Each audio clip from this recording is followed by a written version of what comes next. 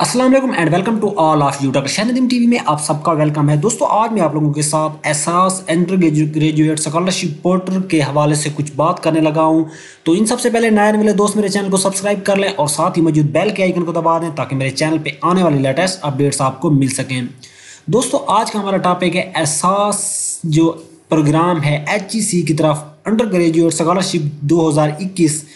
तो जैसा कि आप जानते हैं कि लास्ट साल एच e ने जो है इसका फ़ेज़ टू जो है, एहसास स्कॉलरशिप का जो है, वो शुरू किया था। और इसकी जो लास्ट डेट टू अप्लाई के लिए थी फ़ेज़ टू की, वो 30 नवंबर 2020 थी।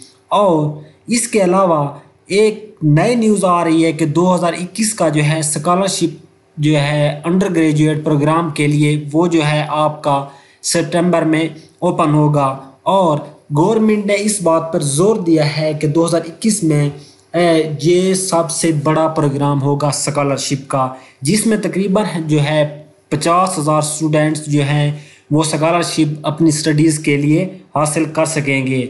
और जिसमें, इसमें जो भी कैंडिडेट्स सेलेक्ट होंगे, वो four thousand rupees per month लेंगे और हंड्रेड परसेंट ट्यूशन फ़ी इसके अलावा उन्होंने कहा है कि इसके लिए जो एलिजिबल कैंडिडेट्स हैं, वो एचईसी की ऑफिशियल वेबसाइट को विज़िट करें और दो, जो 2021 के जो है एहसास स्कॉलरशिप प्रोग्राम के लिए एल एल हैं या अप्लाई करना चाहते हैं, वो एच e की वेबसाइट पर अपडेट्स को चेक करते रहें।